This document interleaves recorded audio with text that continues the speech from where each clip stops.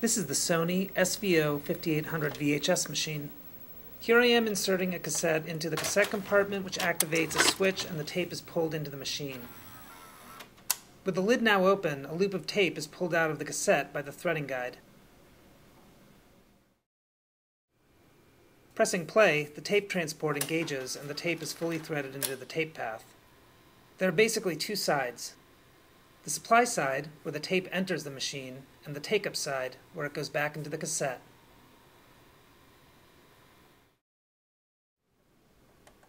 We're threading again here to take a look at the tape path components on the supply side. P1 here is lining up the tape as it comes out of the cassette to pass over the full erase head perfectly, so that when the record function is used, the tape is properly erased for recording. The next guide is called the inertia roller. Firstly, it provides a little bit of tension to keep the tape in perfect contact with the full erase head, but it also keeps the tape from undergoing small, quick changes in tension as it winds around the supply guides. This large roller helps keep the motion of tape as smooth as possible as it feeds around the upper drum. The entrance roller is the component that actually pulls the tape into the transport during threading, but this guide also keeps the tape at a perfect height as it passes over the upper drum, allowing the tape to be aligned with the video heads. The slant poles allow the tape to contact the video drum at the right angle with proper tension for reading or writing the data to videotape. They have no moving parts, they're just steel posts helping the tape contact the drum properly.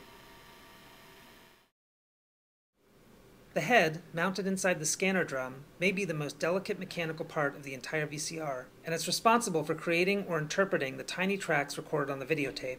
Mounted inside the upper drum, rotating 1,800 times per minute, these tiny components are ultimately what makes video recording and reproduction in a VCR possible. The exit guide nicely complements the entrance guide. It helps wrap the tape around the video drum during threading and also keeps the tape perfectly positioned for reading audio and video as the tape passes off the upper drum.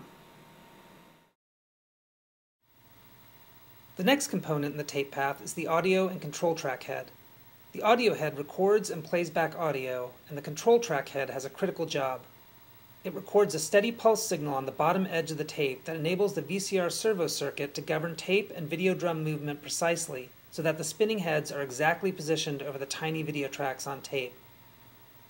After the tape passes the final take-up guide P4, it's sandwiched between the capstan and the rubber pinch roller, which is working with the servo system to move the tape through the tape path. The movement of the capstan is extremely precise, and it allows for the tape to move smoothly and at a constant speed during playback, so that the recorded video and audio can be output to a monitor for viewing.